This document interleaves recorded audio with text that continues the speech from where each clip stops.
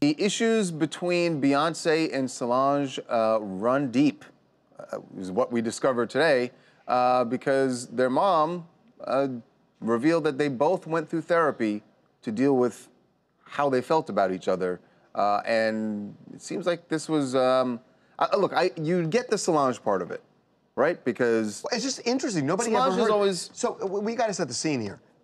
Maria Shriver has this podcast. So she's talking to um, Tina Knowles, right? to Tina Knowles, and Tina starts talking about stuff I've never heard before about the difficulty of the two of them growing up under the same roof. Yeah, which we've well, never and also heard. because you got to remember that Beyonce was at a very young age, was becoming the Beyonce we know now. But she was, you know, performing and was an entertainer at a very young age. Solange as well, but clearly was kind of in the shadow of Beyonce. and so, it caused psychological problems for both of them that required a shrink. So here's what played out on Maria's podcast. So I had days that I devoted to. On Wednesdays, I took off from work, and that was Solange's day. And she was a lot younger than Beyonce, and it was tough because she was five years older, and Beyonce was this little superstar in our in our city. And so I took them to counseling, so that very early, so that the counselor could help Beyonce be more sensitive to Solange because she couldn't stand her for a minute. You know, when they were little, she was five, she was all in her stuff. She was trying to hang around her and her friends, and Beyonce was really irritated. But it made her more sensitive to who her sister was and what what she had to deal with because of her.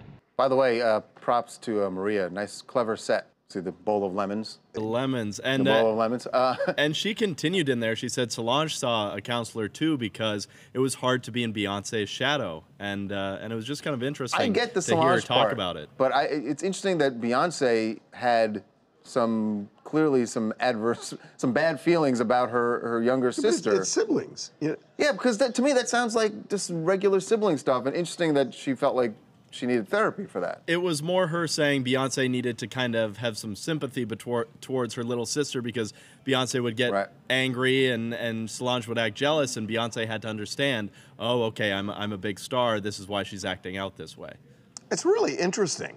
I mean, and, and I just the never heard anything yeah, like that before. To be able to have to navigate tho- that dynamic. Yeah, well, it's, difficult for, super for Tina. interesting. By the way, have I ever told you how much I love Maria Shriver?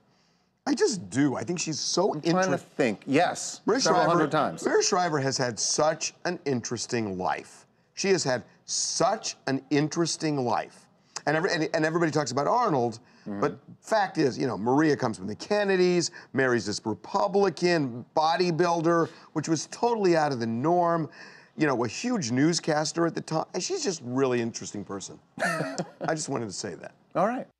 Hi, my name's Sarah. I'm com- calling in from the Bay Area, and I'm a mother, and I, I understand how you want your ch- your children to be treated equally, but I, I agree that I, I believe that every family has civil rivalry, and um, if you go to counseling, that's that's your own thing. But I, I, I, I think that's a little bit over the top. Well, I don't know that it's over the top to try and get I- I help get- to I make sure they get what you're along. I think it's kind of nice.